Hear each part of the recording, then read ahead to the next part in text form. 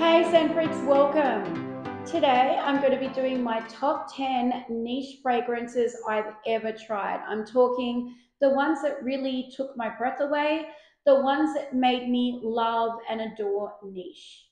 Don't forget to subscribe and hit notifications if you love all things fragrance. Number one on the list is Tribeca by Bond Number 9. The Baccarat Rouge by 40 dupe with a caramel and molecule twist. Number two is Angel Share by Kilian, a boozy cinnamon spice roll for the gourmand. Number three on the list is Virgin Island Water by Creed, a refined and unique coconut scent. Number four on the list is Gentle Fluidity Gold by MFK, the high-end French vanilla bakery scent. Number five on the list is Oajan by Parfum de Marly, the sweet, spicy honeyed tobacco fragrance that's unforgettable.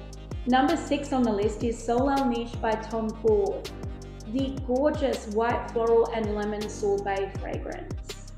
Number seven on the list is Naxos by Xerjoff, the epic honeyed tobacco nuclear bomb. Number eight is Mango Skin by Vilhelm Perfumery the first mango forward fragrance that actually smells like fresh, sweet, fleshy mango pulp and skin. Number 9 on the list is Lira by Xerjoff, a delicious, decadent, creamy lemon air whipped butter cake. Number 10 on the list is Julius Caesar by Shakespeare Perfume, the best clone for Baccarat Rouge by 40 with a darker, deeper, smokier backbone. It's just gorgeous. So Scent Freaks, that's my top 10 niche fragrances tried up to date. This list was not easy to do.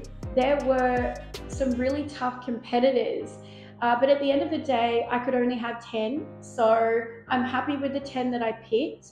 And I think there really is something for everybody on this list. What is your top 10, guys? What are your top 10 niche fragrances that you've ever smelled before? I know it's difficult uh, to, to really break it down that way. But do you have any favorites, ones that's just stood out above the rest? They were just better.